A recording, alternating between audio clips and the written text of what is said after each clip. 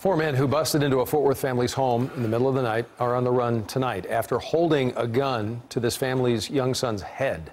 Ken Molestina spoke to the couple about what happened. He's live for us in, uh, at their home in North Fort Worth to give us what we know tonight. Ken? You know, uh, as you would imagine, they're absolutely terrified because of what happened tonight.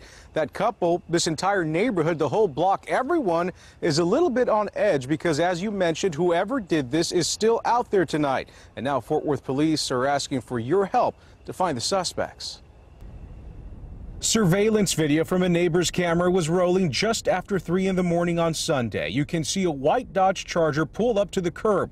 Four people get out and walk to a side door of a house on the 4000 block of Grover in North Fort Worth. Then, all of a sudden, I hear like a huge kick, the windows shake, uh, glass breaking. The young couple inside didn't want to show their faces or give their names, but they detailed what happened next. And they were like, this ain't no game. Where's the money? Where's the money? Another nearby camera recorded the audio of the suspect saying as much. I'm not playing with you, bro. Show me where the money is. I'm not playing, bro.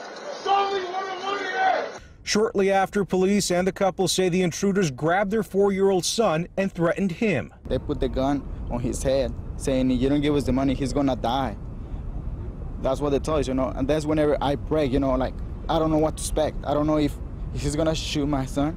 A round was fired, but thankfully it didn't hit anyone. After almost a minute of terrorizing the family, the suspects took off with a wallet, leaving them and their four-year-old terrified. his He's traumatized. Like bad people came in and they were pulling my hair. Mommy, I don't want to sleep here. The family says they won't rest easy until the suspects are caught. We want them to find them so no one else can be going through this. They were so scary.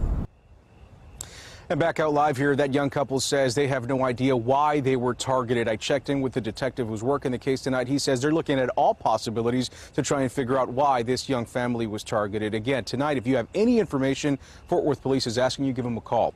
We're live in Fort Worth. Ken Molestina, CBS 11 News. All right, Ken, thank you.